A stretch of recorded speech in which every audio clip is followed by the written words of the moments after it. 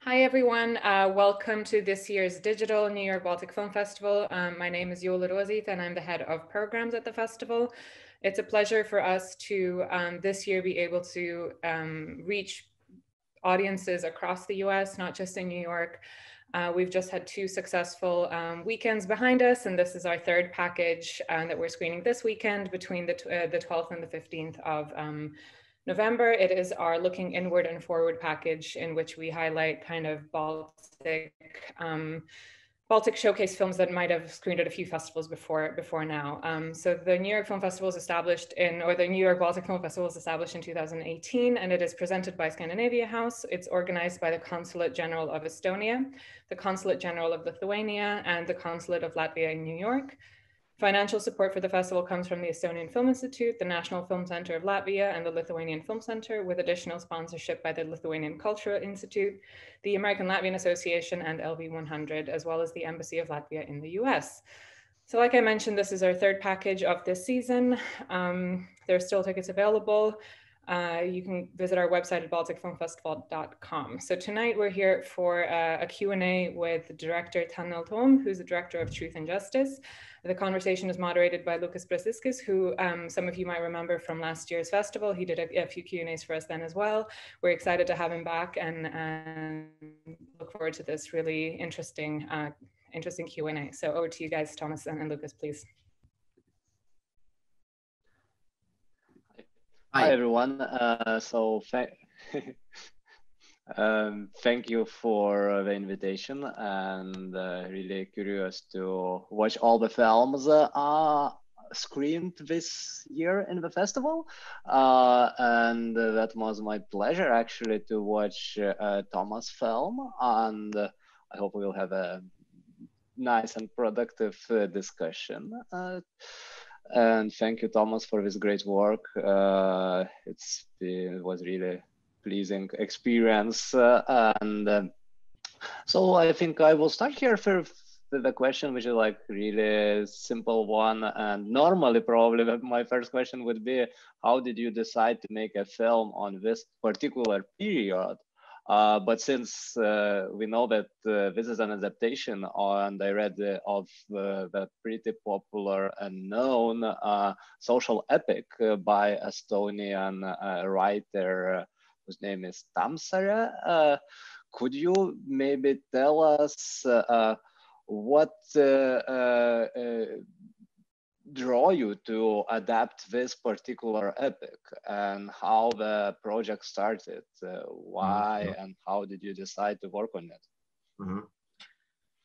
well actually yeah it, it's true that it is one of the fundamental uh, works of estonian literature but uh, that wasn't the reason of course why i kind of wanted to tell that story and put it um, into film language it's uh, for me it was the story itself and the main character.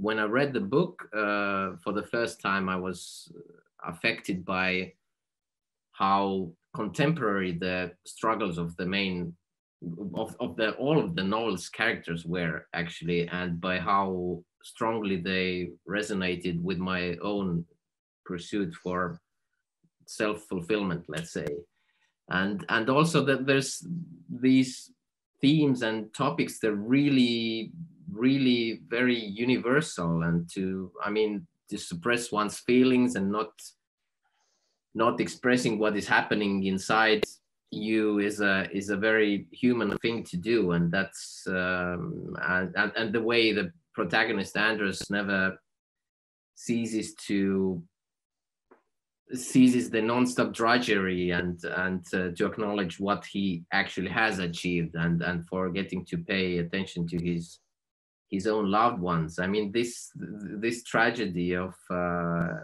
this human being that um, this is what really really fascinated me the the, the massive uh, the massive character arc. Because because that's um, this is massive for for that character. And and uh, and the saddest thing for me or, or the saddest thing is that it was all for the for the good cause for the family.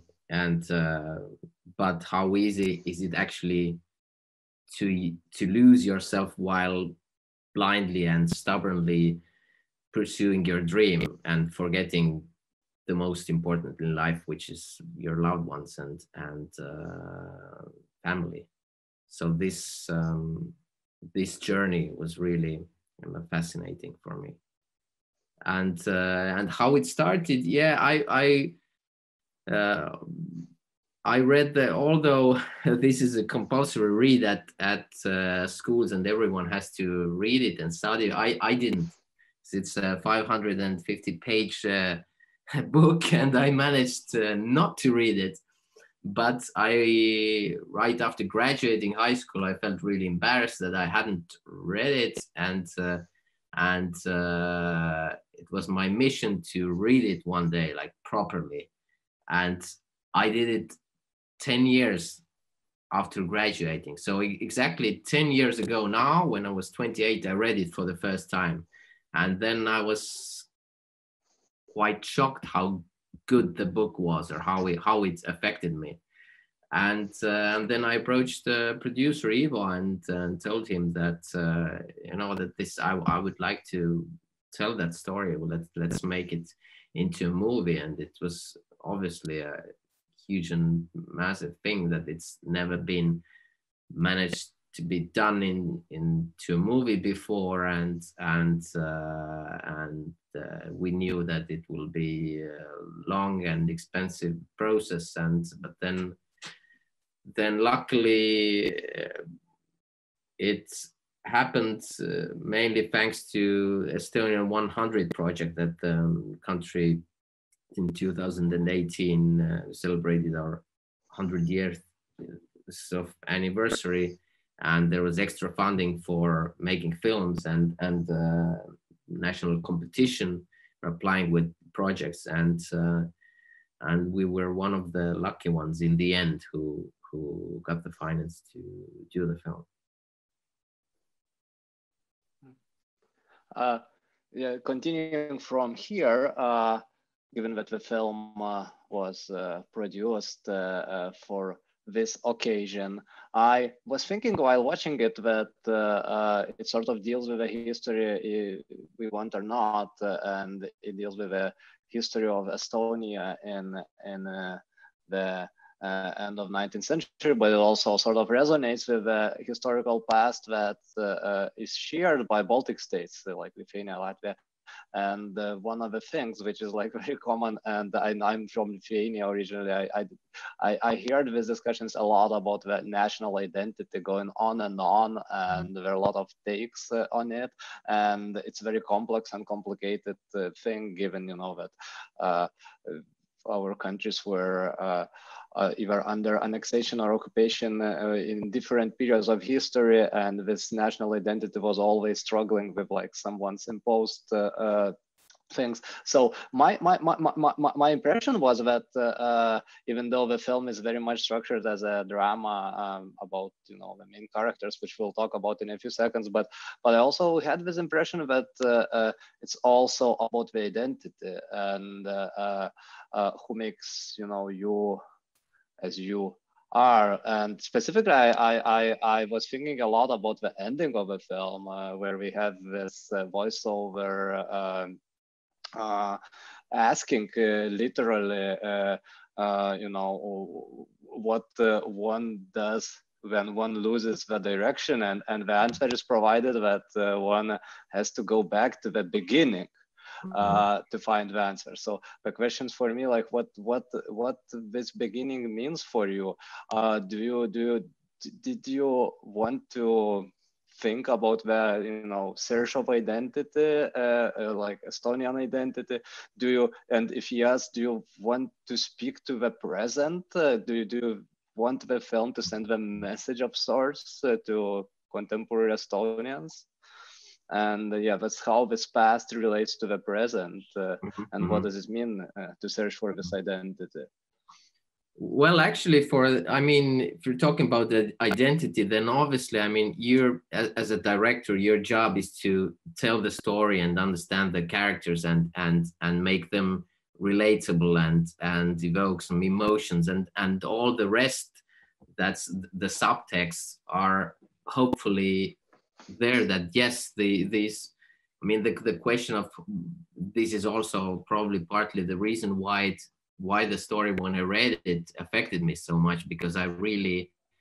i really um, i really saw myself in that character in, in a way that this this the, the, the more i tried to understand the main character the more he started to remind me of myself uh, this wasn't a nice feeling because this character is not a nice person in the end of the story but this is also say how I make films or I, I lose myself in the work and, and nothing else exists then. And it's it's uh, obviously it's a very dangerous thing, of course, and and uh, but that's that's what really connected me to the main character and and and whoever or or whatever type of a characters you're dealing with as, as a director or a writer you have to love them all. And in order to love them you have to understand them and uh, understand why they're like that. Why are they making these kind of choices? Not the right ones very often but uh, to understand them and hopefully i mean this is if it's somewhere there and and and i've been told that yes that is when estonians look at the film very a lot of us kind of recognize ourselves there. So this wasn't obviously my like main goal or objective while making the film that oh everyone has to kind of recognize uh, him or herself in it in the character but it's just this this is the dna i think you're uh, you're talking about but if we're talking about the voiceover that's in the beginning and in the end of the movie then then this is also actually simpler. It's always really nice and there's nothing wrong about it. Like as kind of film critics, they try to they try to and and this is their job as well to to put the meaning like uh, to to search for different possibilities for for meanings behind lines. And this is what i really love about making films as well that it's like even if you have a 300 uh, seat cinema and and uh, 300 people go in and and after the movies ended there are 300 different emotions come out from that cinema. And they're all right there's nothing it's it's absolutely okay and this is this is what i love but behind those lines for me obviously i mean in order to because these lines have to be justified for the main character who is saying those lines. Obviously, this main character is, is not saying these lines for the audience or for the, oh, let's think about our identity or so. So in, in that sense, the, the kind of the, the simplest, the most basic explanation would be that uh, he came to this place and, and he had all these big dreams and and uh, and he was thinking that he's doing it all for the family because of the love for his family. But in the end he's he's not seeing the family anymore he's so obsessed with with uh, with his work and and uh, and he's he has pretty much lost everything he's ever had in a way just this place yes and it, this place looks a bit better than it looked uh, 24 years uh, before, but he's alone there. And so that's the question that why, what was the real reason? What was the first kind of, the, what was the reason? Why did I actually come here? What, from where did I start? So that this is like, why am I now, haven't I done everything right? I've been working and working, and, but then yes, you've been working, but but uh, you've been forgetting why are you actually working, or it's not. Uh, and that that's that's the thing that that um, that I mean that that this nonstop drudgery might really kill all the love you have and and it's it's uh, and and and the main thing what was also the, the most important part of the theme is that like putting work before family eventually leads to loneliness and uh, that's what's where the tragedy is that he's he started doing it because of the family but while doing it he loses the family because he's at some point he's he's not just cooperating with them in a way. Yeah. Mm-hmm. thank you. Thank you for such a detailed answer. And i like let's talk a bit more about uh, historical recreation and and and and, and still talking even about characters what uh, i found very interesting and i was uh, very um, sort of uh, positively surprised how uh, the portrayal of characters, how multi-angled the characters are, and specifically Andres, uh, but you know, like other other characters. And I, I, I got this feeling that you didn't want to, you know, uh, heroicize or or you know like show uh, characters just one sided uh, as uh, unfortunately as we know some historical films do and they just uh, Uh, you know, follow one or another myth about the ideal uh, great past, and everything is uh, nice and and and uh, one-sided. And I I had this feeling that the and Andres and especially other also characters and specifically male characters, they're uh, very difficult, very complex, and sometimes very you know unsympathetic even to some extent. It's difficult to identify with them, and even some egocentrism or mm. even what we would call probably today masculinism is uh, uh, out there, and you see that the characters by no means are heroes or, or like heroic characters, but they're as human with a lot of weaknesses. Uh,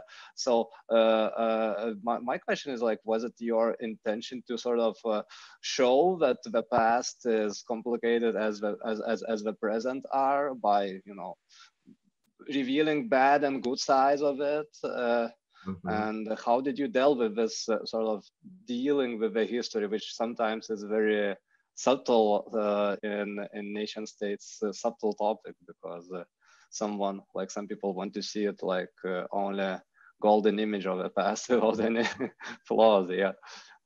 No, I mean it, it's it's a very good question because uh, because this is this is actually what really this was the main thing what really fascinated me that this guy starts as a really nice person and ends up as a not kind of in the beginning you kind of feel that that Pearu the neighbor is the villain.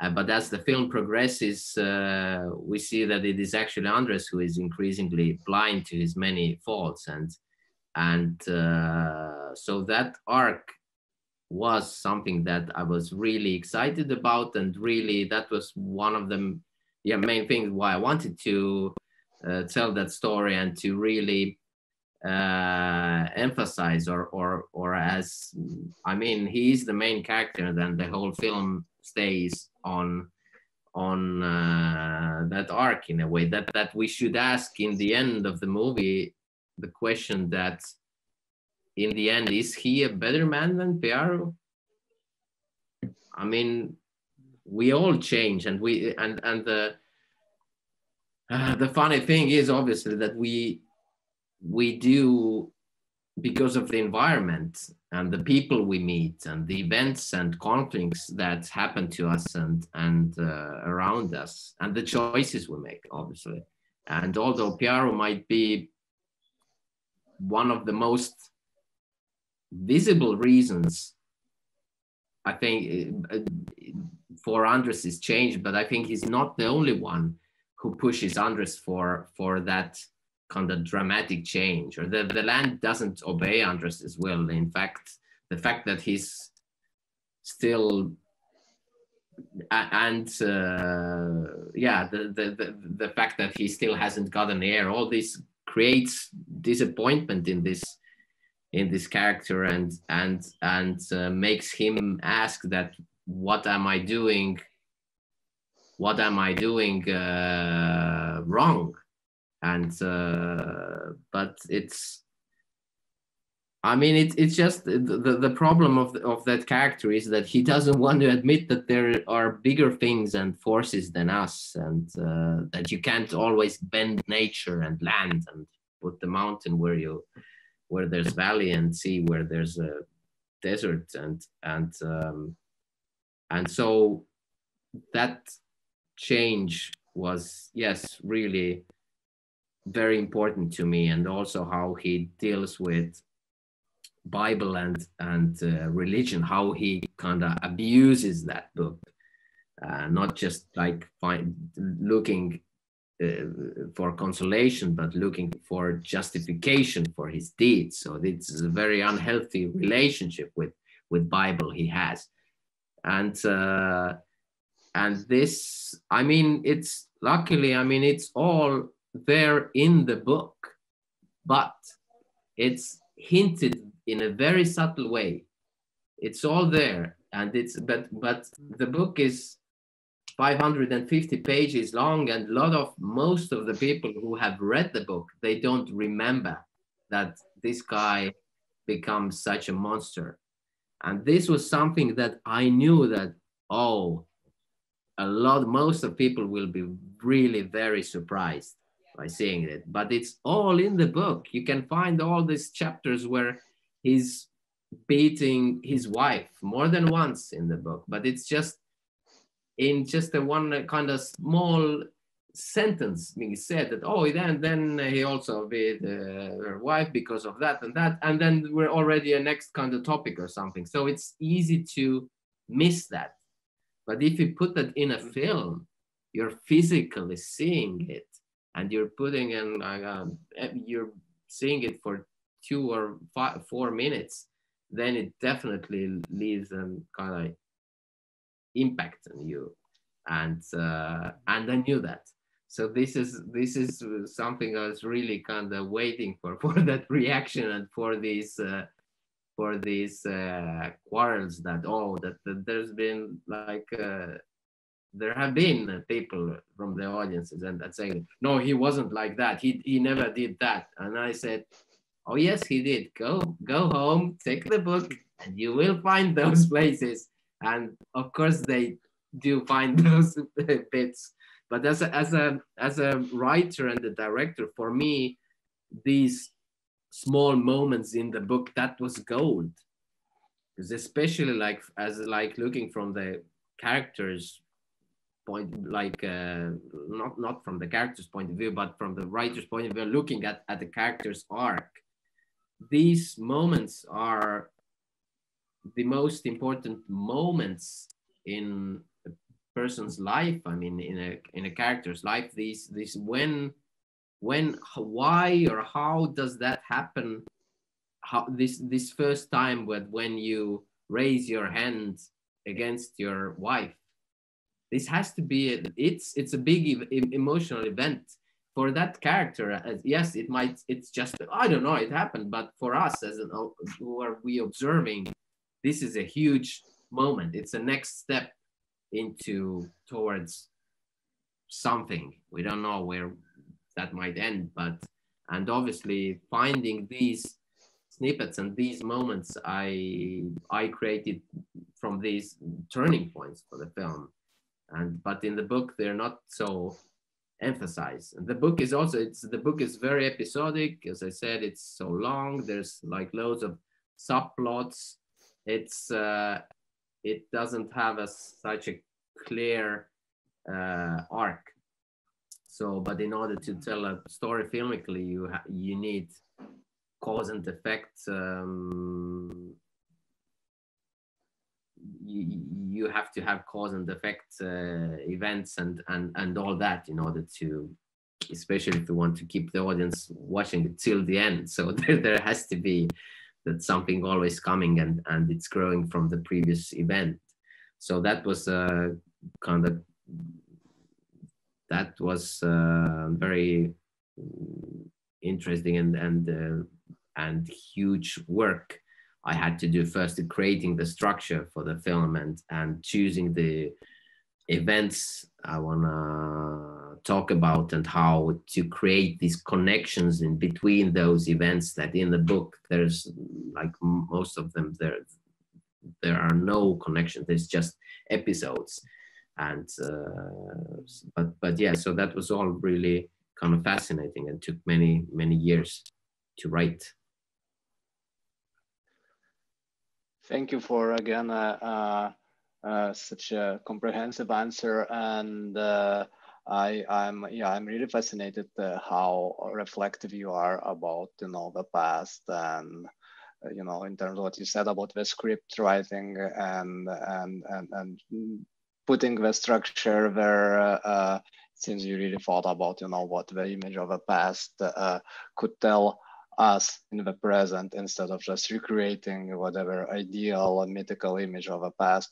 And that's really interesting and i think we need that more in, in historical filmmaking. But uh, in this relation and coming more to you know the production side which i think some people also interested in usually uh, i want to ask a bit more about the production uh, of the film. And you talked about the script writing and the building of the uh, you know, narrative arc. Uh, what about the shooting of the film? Uh, it seems, you know, one of the important topic in the film we have discussed already. You, you mentioned it, you know, the man's relation to the land, and we have the majority of action happening in a rural part of Estonia. You also I believe, uh, try to recreate uh, more or less some historical landscapes, but we also have a lot of, uh, you know, natural landscapes.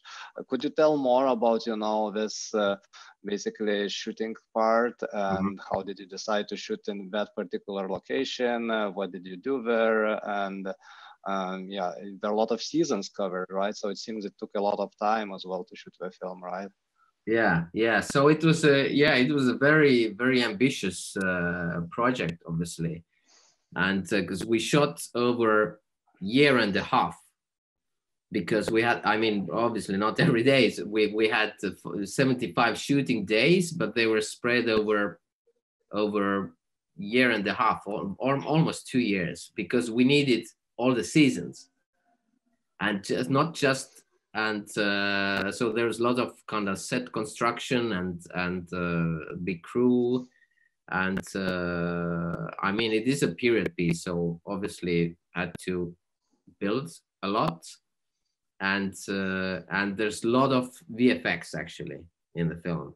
And also as the story takes place over 24 years and i i wanted to use the same actors throughout so we also used prosthetic makeup very difficult one like that was in the end like four hours to apply for the main character and uh, every day. And uh, so yeah it was very ambitious. And obviously these landscapes i mean these these places exist like but in different parts of estonia. So it's all put digitally together. This hill with those houses that we actually built. So like one set of farmhouses, the for the main character, this is all real. We built that. The the neighbor's place is actually like in the yard when you're with the camera in the yard. It's it's shot somewhere else, and and uh, and that is being created digitally on that hill. The neighbors' um, farmhouses and all the uh, the bog and marshes around the hill, this is all put in later digitally. Because obviously, if, if even if there would have been somehow like miraculously a hill in the middle of uh, marshes somewhere, then how the hell do you get there? And also, it's we, we had like story demanded so specific things that it's a lonely hill where there's only like two sets of farmhouses and how. So we just had to find that was already a really difficult uh, thing to to find an empty uh, hill somewhere in Estonia where there's like uh, at least from one side it's also empty at least for one kilometer so that you could shoot a wide shot from somewhere. Because if it's there are trees or something around it you cannot shoot a wide shot of it. And also that that there's no no I don't know the electricity lines or or or some other things. Of course, it, it's impossible. But even that small thing that finding from Estonia a hill uh, which is empty that we could put something on it and and from one side at least that we have uh, one kilometer so we can shoot a wide shot we found it only it was exactly by the border of latvia. So when when my mobile phone went to latvian network always like uh, this so it was like we literally we saw latvia from from that hill and this this the posts of the the, the border posts. So it was and and it that was like 310 kilometers from tallinn. So that made as well things much more complicated.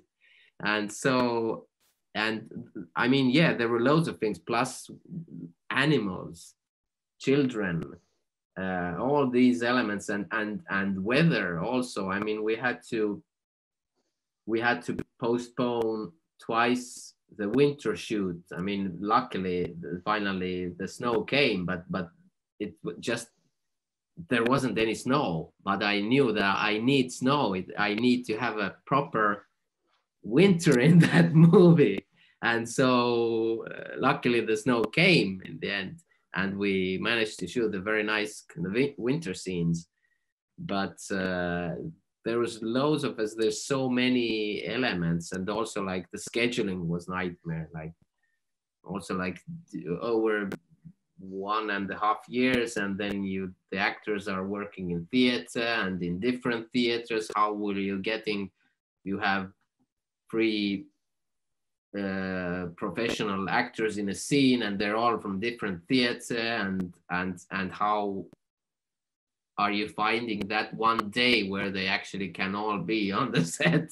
And uh, so it's uh, but this is filmmaking. I mean this is um, that's how I, i'm not the only one who's kind of dealing with those things. That's that's life and that's part of the fun i guess yeah, in terms of one more element uh, uh, of the film, which I found interesting, uh, like uh, the, the, the, storytelling is uh, like very impressive, but uh, so to say, following the more or less traditional, you know, pattern, I like sort of mm-hmm. continued editing and so on and so forth. But what impressed me a lot was the soundtrack, the score mm-hmm. for the film, which sounded so to say, way more experimental than the uh, way the story is told. Uh, and uh, it, uh, could you tell a bit more about the soundtrack and how did you decide to use this kind of soundtrack? Mm. like whose score is it? Uh, probably you had someone composing it, right?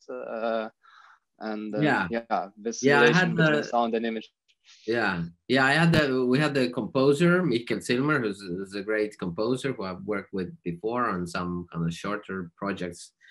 And and we also used um, some church music or classical music from one other estonian com young composer the, the choir music.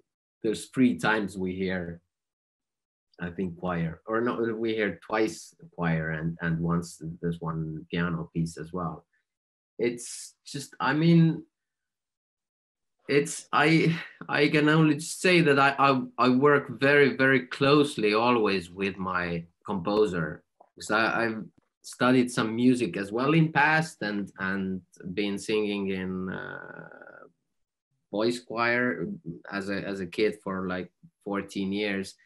And so this this isn't a world which is un, unfamiliar to me. So I I I I know the musical terms, and it's it's it's rather easy to communicate with my composer. And for me, it's it's very very important always who is the composer and and what's the what does the film need i mean because it's always you are serving the story and and uh, and uh, and the music has to has to support that. And sometimes you don't need music at, at all and you might uh, realize it after the composer has written like already seven versions that weren't any not not good but but right for that part. And then you realize at some point in the mixing stage that oh actually we don't need here like anything. And and the composer has to understand that it's okay. This is part of the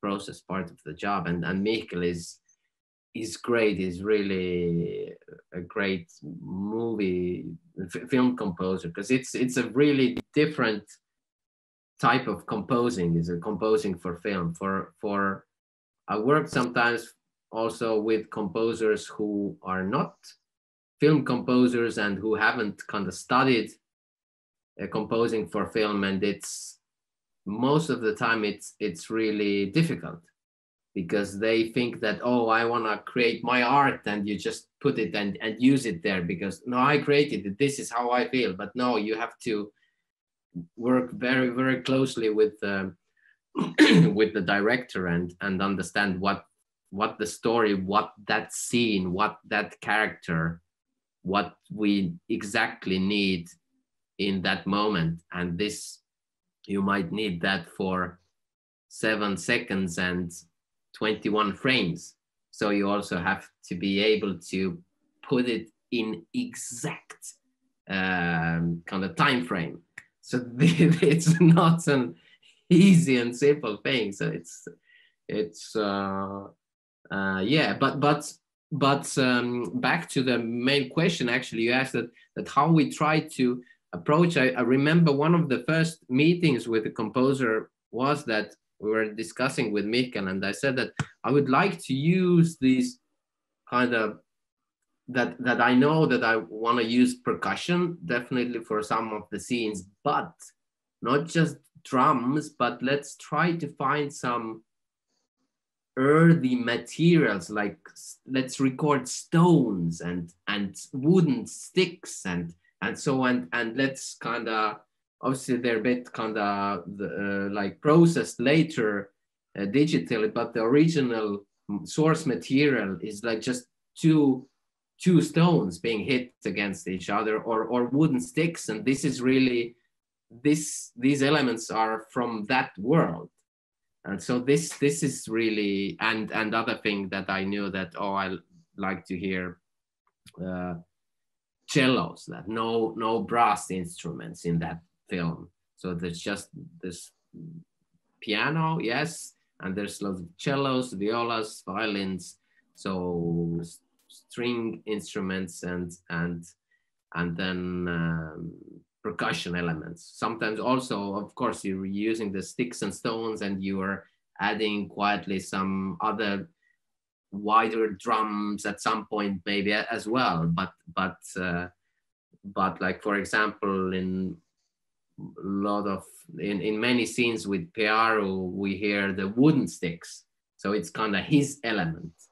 The stones are Andres's elements. So this is kind of really fun to come up with and then try and experimenting that whether it's it's it's just it's something anyway good film music is something that the audience shouldn't necessarily kind of uh, hear or it's it's because it's it's all you're looking at the film not not listening oh this is nice piece of music that's now playing.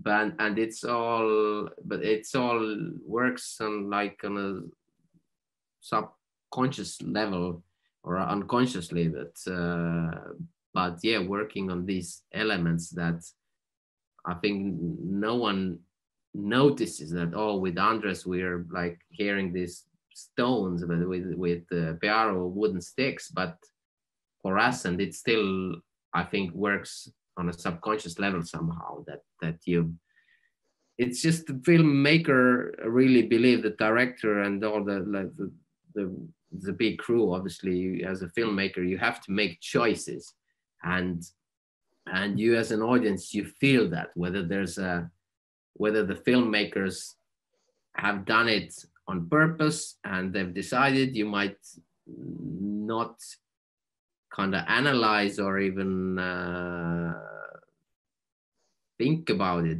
why exactly or but but it's just it's uh i believe that it's in kind of controlled storytelling or if if if i'm it's my responsibility to lead the audience to lead them through certain emotions or at least give them a chance to feel certain emotions. And no don't want to tell 100% that you have to feel that emotion here and that emotion there and not this emotion but but at least give that uh, opportunity. And uh, and but if you're if you're not doing it then the film or the story doesn't have focus and it's not it's it's not effective i think but my job is to tell the story in the most effective way and find these tools and how to tell that scene or, or that moment or or or make that i don't know give a possibility for a, a certain type of emotion in, in that scene. What am i using for this scene and uh, there's so many like ways to do that. And it's uh, and it's this is what i love about making films that it's it's all the art forms put together and you have so many uh, tools and buttons and yeah. Amazing amazing. Uh, just uh, to going to the end of the discussion one question is it is it is it true that the film uh, uh is is is like the most expensive Estonian film ever made? I read it somewhere. It's I mean it's yes and no. I mean state money wise, uh, yes, it's it's uh, but there are some co-productions like in Estonian co-productions that the budget is bigger but uh, but yeah for the state money and and actually in a way yes i think it it it is so far kind of the most expensive right? Yeah, so I have a follow-up question uh, in regard to film industry in Estonia, because seems that uh, the film is a huge production and not very often uh, we, and I, by we I mean including Latvians uh, and Lithuanians, have like this big budget, uh, huge uh, uh, budget films being made. And and and you know like you talked about all the details you had to work on like how you know huge scale was of the production and and then i know that you also competed for the oscar. Do you do you feel that there's some kind of changes happening in in in this particular case estonian film industry? Do you think that there will be more films that are really um, you know uh, trying to to to to to to, to reach as broad audience as they can, but also to make as a, you know accessible as uh, uh, you know quality films as possible and mm-hmm. in, in in in in this way? What's going on in terms of the industry? Or was it just a more exception from the rule? Uh, what your no i mean I, I think it's it's definitely changing and it's been changing already for the past 10 years. This tone the more films uh, the country makes, the more different they are, the more different uh, directors get a chance and possibility to tell the story the, the, the way they tell.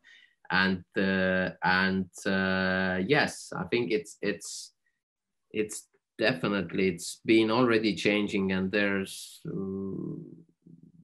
there have been these bigger films now almost every year at least one film that's that's either it's kind of based on some kind of a classical book or story or or and and the period period drama or with a bit of a bigger budget. And it's uh, it's uh, it's a very good thing because it's also these these films I mean we for a long for a long time there were only really only if there were so few films being made there were like mainly only very small art films and and then there's you cannot tell a certain type of a a, a story or you just it's it's like for example with this with truth and justice i remember when i first time when I went to Ivo, my producer, and told him that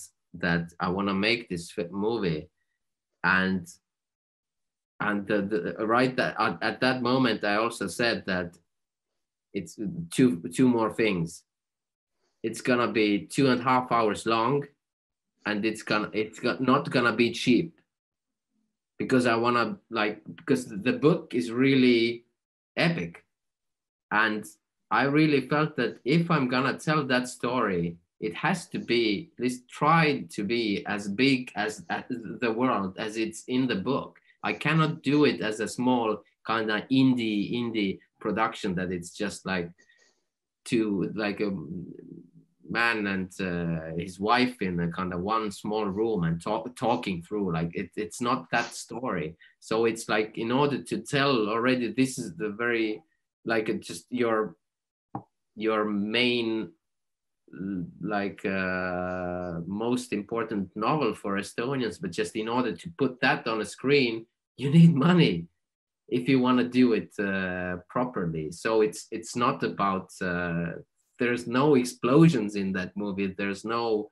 like thousands of army men running or anything, but it's just the period piece is always uh, more expensive than something that's kind of contemporary and um, it's luckily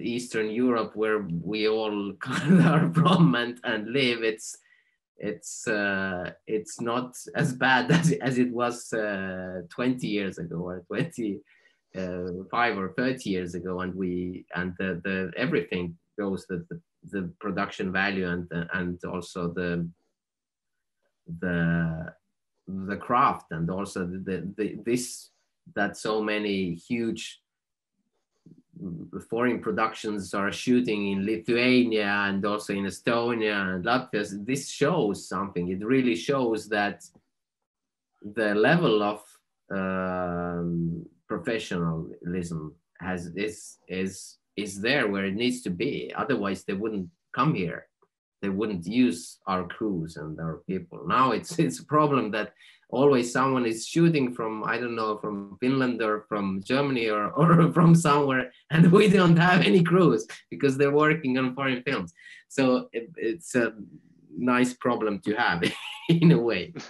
but uh, but yeah, I think it's it's been changing already for a while, and it's it's getting obviously better and better, and we we we are part of uh, we want to be part of the kind of the world film more than we yeah have to do all kind of all kinds of films.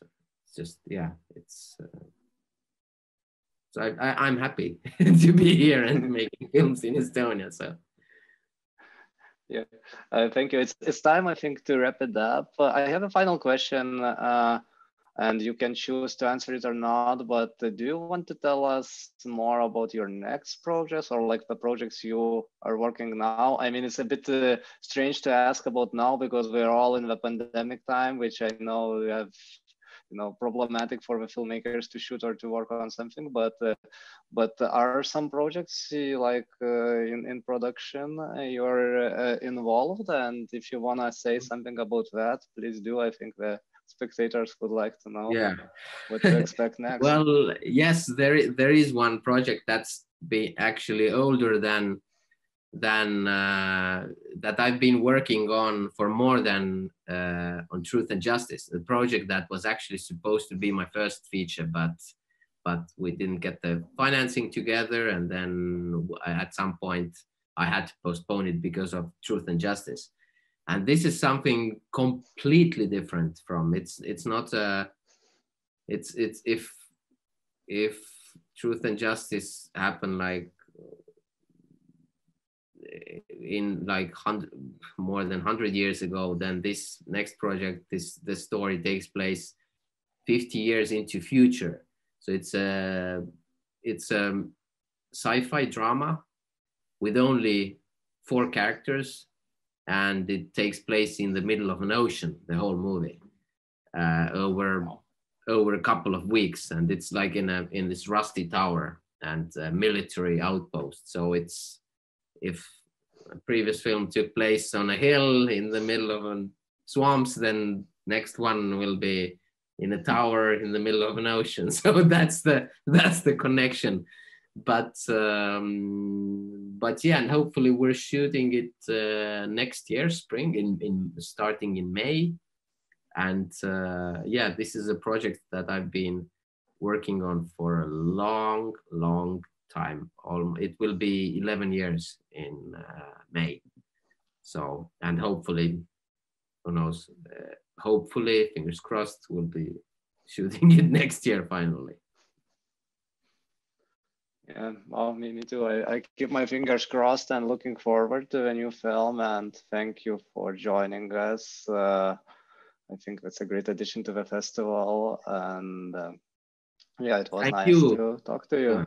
Yeah, thank you all, and thank you for thank you people who whoever who's who's watching it. If there's even one person, then uh, thank you for doing that. All right, thank you everyone for watching. Um, you can still catch the other two films if you haven't seen them. It's Oleg by uh, Juris Kursietis and The Lawyer by Romas Zabarauskas. Um, and join us next year for I don't know, the new format that we'll figure out then hopefully in person. Um, thank you all of you for, for joining and talking. It's been really interesting.